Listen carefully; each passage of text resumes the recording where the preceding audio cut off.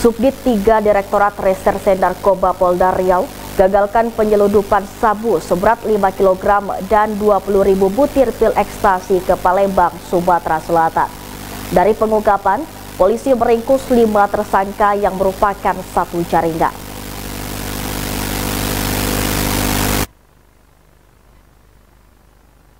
Penyergapan dan penangkapan terhadap terduga pengedar narkoba jenis sabu dan pil ekstasi ini dilakukan tim Subdit 3 Direktorat Reserse Narkoba Polda Riau yang dipimpin langsung Kasubdit AKBP Edi Munawar berada di Jalan Arifin Ahmad, Kelurahan Mundam, Kecamatan Medang Kampai, Kota Dumai.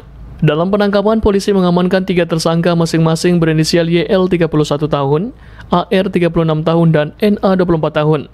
Dari penggeledahan yang dilakukan, polisi menemukan narkoba jenis sabu seberat 5 kg dan pil ekstasi sebanyak 20.000 butir yang disimpan di dalam tas ransel. Tidak puas pada penangkapan ketiga tersangka, polisi yang melakukan pengembangan kemudian berhasil menangkap dua tersangka lain yang merupakan satu jaringan dengan ketiga tersangka.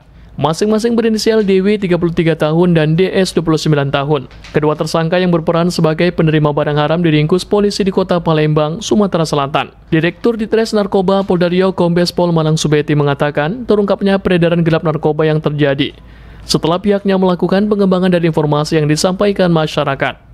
Kami dari Direktur Narkoba Polda Riau berhasil mengagalkan pengiriman narkotika jenis sabu-sabu sebesar 5 kg dan ekstasi sebanyak 20 ribu butir.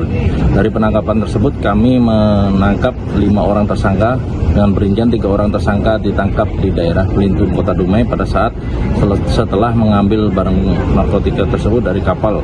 Barang ini baru saja turun di Pelabuhan Tikus Pelintung Kota Dumai. Kemudian dari penangkapan tersebut kami kembangkan ke daerah Palembang Sumatera Selatan di mana kami berhasil mengamankan dua orang tersangka penerima barang tersebut. Untuk kebutuhan penyelidikan, tersangka dan barang bukti dibawa ke Mapolda Riau. Ahad Lele Isnin melaporkan.